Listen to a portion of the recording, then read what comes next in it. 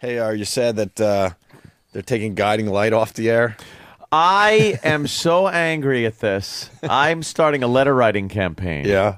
To uh, keep the guiding light on. It has been one of my favorite shows since uh, it came out 72 years ago. 72 I remember catching that first episode Yeah. on the radio. It was a radio serial. When you were just particles in the universe, you were Yes. you were checking out Guiding Light. It was a radio show first. But those Was people called- that just stood in front of the big lights, uh, Right. in front of the big microphones Yeah. and stuff, they're like, yes, guiding light. What was it called? Guiding Light back then. I, I guess so. Jimmy said, "I bet you there's someone out there that has watched every episode since 1978." And I'm thinking, some- 78, 72 years ago. No, No, it's know. 1937. It became a radio. No, but he's saying from 78. It's like he's saying last. Uh, there's probably people out there that haven't missed an episode in the last 30 plus years. Oh, yeah. And I, I say that that goes way higher. I bet you there's some 90 year olds out there. That, Oh, yeah. that haven't missed this show in 50, 60 years. What uh, what are they attributing it to? Low ratings, I would gather. Ratings. The whole world's Uh, changing. That's yeah. what it, they're contributing it to. They don't care about a guiding light. Nah. I wish we could get Stunt Brain on the phone. His wife worked for one of these, uh, like, gi- one of these big soaps. She was a big writer for one Was of it these. Guiding Light? I don't know which one it was. What about uh, the sands through the hour- hourglass? Oh, Days so of Our are the Lives. days of our lives. Well, Travis has the original radio intro. oh, to uh, guiding light. Yes, 72 years ago. All skate. The guiding light.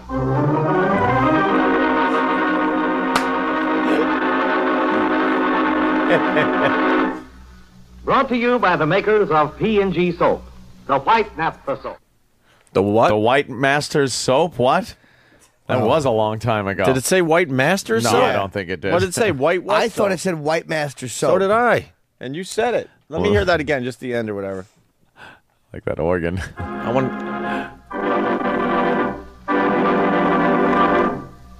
The guiding light. Nosferatu. Brought to you by the makers of P&G soap, the white naphtha soap. The white The White Ma- something Ma- soap. soap. Ah, I don't know. Something. What was going on 72 years ago? Oh my god One God. show, 72 years. Oh my God. What was happening 72 years? What year years? was that? 37. Oh, 37? Well, one of our favorite uh, world leaders was just getting geared up. Is that amazing? He was just revving up. yeah, he was just revving up uh, his uh, war machine. It went until 52 on the radio. 15 minute uh, 15 years. show. Then from 52 to 50 something, it was on it was on TV 15 minutes. And then it went to half hour.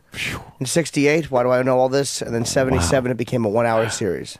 Do you really know that? I read it last night. Oh, I thought you were just being Jimmy the liar. No, no, that's all true. I Oh. actually read it last night. Oh, It's the white naphtha soap. No. And the I, hell is that?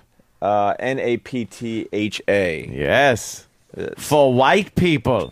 That's how that's how old that show is. Uh, there's distinct, you know, words have been uh, Yeah, they taken out of our around. vocabulary.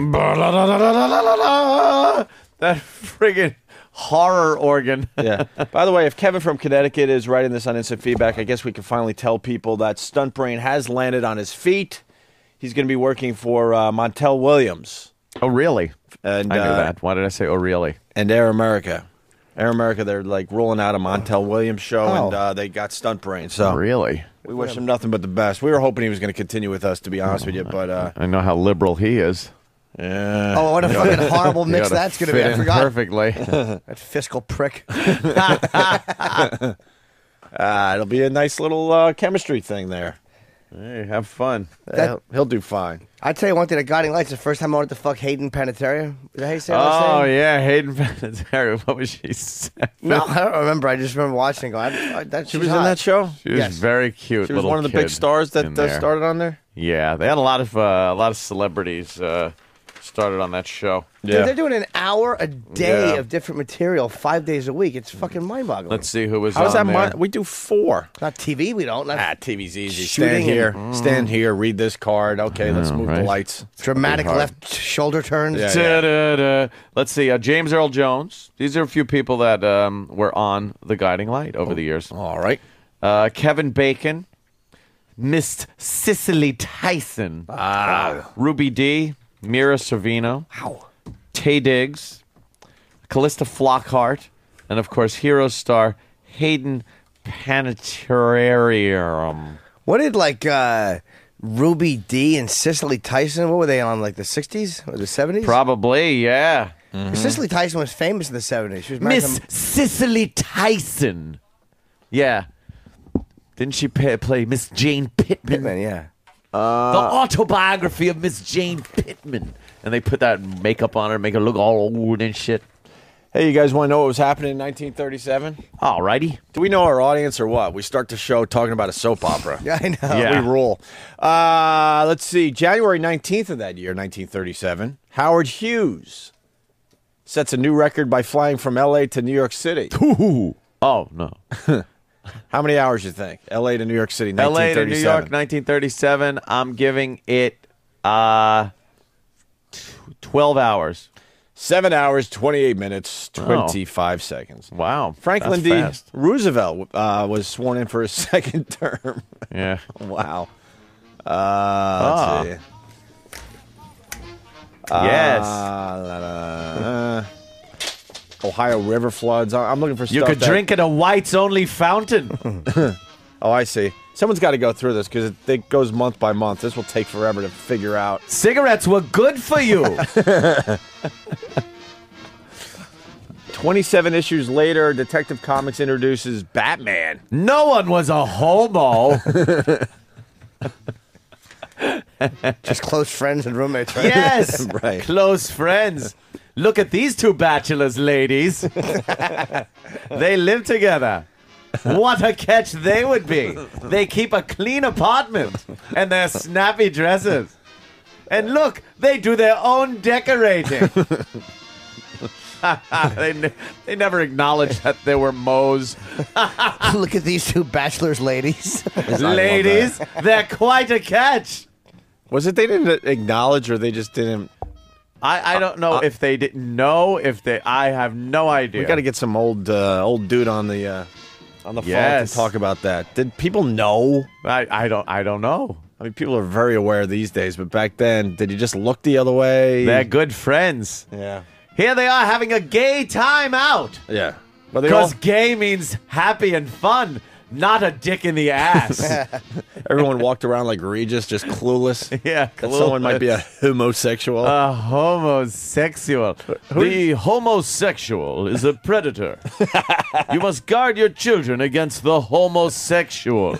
His perversities will get into every aspect of your life and that of your children. They were afraid of the homosexual back then. Wow. yeah.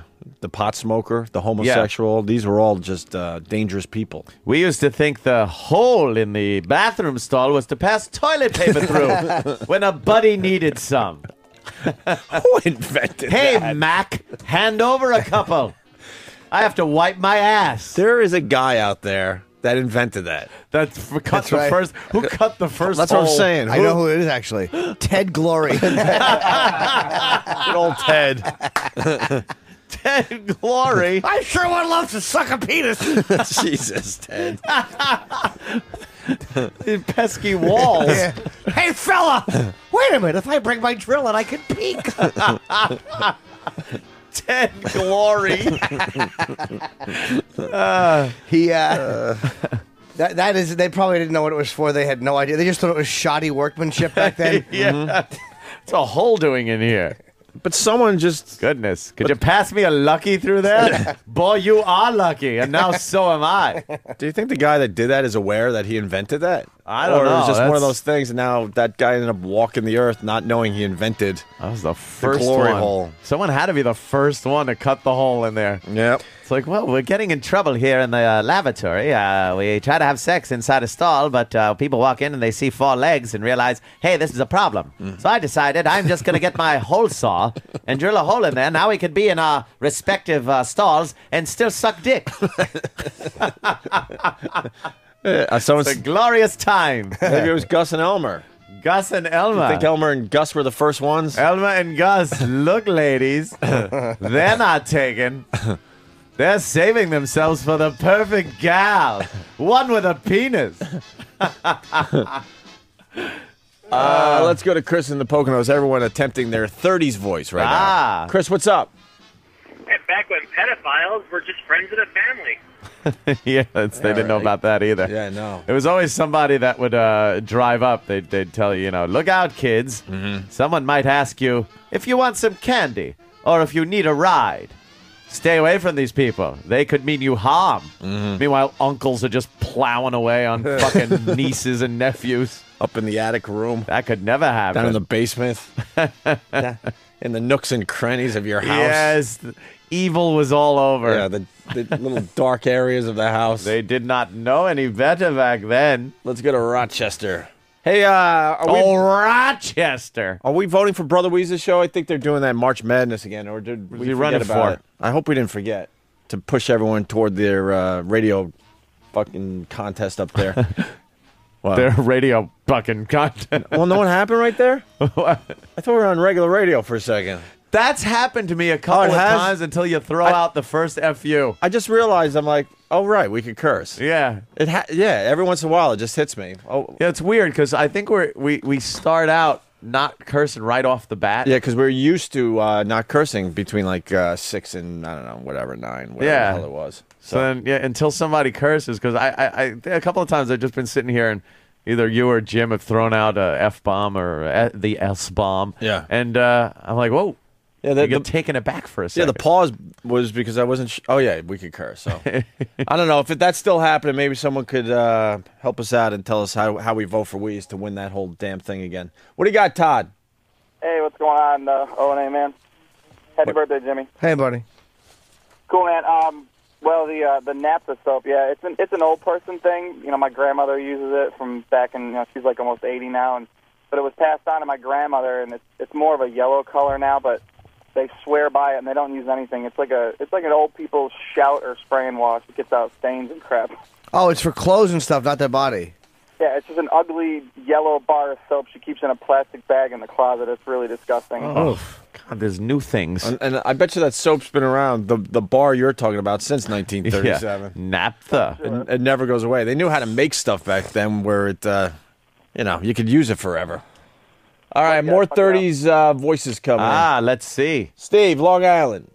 Yes. Hey, what's going on? Hey, You boys are also forgetting that back in the day you could walk around as an elderly woman and not get your hat knocked off your head by a Negro. Frunkus! Hey, your hat. Your hat is safe, ladies. the big dumb I Love Lucy hats. Kevin from Connecticut, uh, 1930s voice. I don't feel like doing the. You want to do the 30s voice? I can't do the 30s. Oh voice. no, I can't read from there. Oh, you don't have an instant feedback? I don't have the instant feedback. It hasn't been invented yet. Make sure you hide your young daughter away if she shows any sign of a baby bump. Yes. She has to be sent to a convent.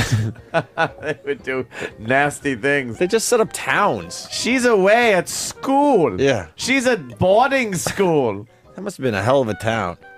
Your slut daughter. yeah. You hear about the town every once in a while. Yeah, they would set Oh, up like wow. just a town of pregnant little teens. Oh, when my mom was younger and she got pregnant, oh, they, they sent her away. Yeah. Where? That would have been a, a pretty cool town to visit. down the down the basement steps first, and if Yeah. that didn't take, It'd be an awful town. Bunch of fat fucking chicks who are knocked up, lactating. Just eating pickles and ice cream all day Yeah. long. back in the olden days, Where did that rumor start? Big. Pickles and ice cream. big nasty hair. Yeah. Oh god damn. Yeah, the good old days. Mm-hmm. 1937. For the guiding light.